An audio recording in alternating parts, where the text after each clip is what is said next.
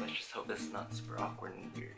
Not the best background, but hopefully the audio is okay too on the mic. Anyway. Hey everyone, my name is Micah. I am 21 years old and I'm going to be a senior at Azusa Pacific University and this is my first ever YouTube video. I was a little hesitant to start this channel at first because there's a lot of judgment and criticism on the internet and I didn't really want to deal with that. Now there are a few things that overrid that. Overrid? Overwrote? Overwritten? Overridden? There are a few things that overpowered that hesitation, one being that I have a pretty bad memory. And so as I'm here at home in quarantine and gonna be a senior in college, I wanted to be able to document all the events that happened and being able to compile them and post them onto YouTube is something that I'm really putting my mind towards and actually really looking forward to. The second one being it's gonna motivate me to do things such as try baking more, exercising, getting more comfortable with talking to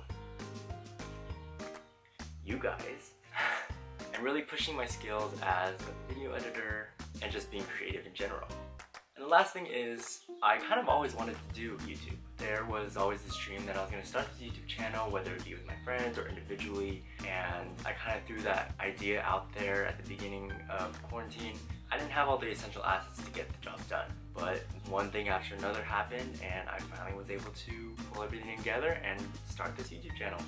So I'm really excited to see where this goes. I have a bunch of great ideas. One of them being at the first Friday of every month, I wanted to do a little Bible study, a Bible reading, where I would just read through a scripture or passage and just be able to show God's greatness and His love through short devotionals. And I know that I am not a pastor or studying to be one, but I think just be really cool just to show through my daily readings what God has done for me and what He can do for your life as well.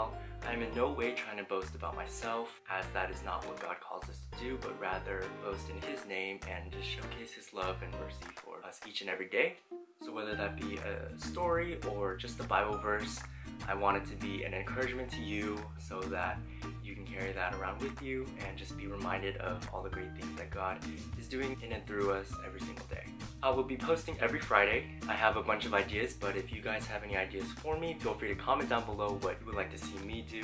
I'm so excited to see where this channel takes me, and if you would like to join along with the journey, feel free to like and subscribe. I know you've heard that a lot of times, but it would just mean a lot for me because now I have all of you guys to do this YouTube journey with me. So yeah, thank you for watching. Come back next Friday for more content, and I will see you there. I have to think of an outro because I don't have one yet. Thanks. See you then. Bye.